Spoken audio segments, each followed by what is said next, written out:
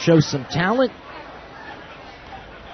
It seems like they end up shooting themselves in the foot as this one swung on, hit well by Kubitza over the head of Yorman Rodriguez to the wall. Kubitza turning from second, and Reyes comes home to score, and it's a 6-5 lead for the Braves.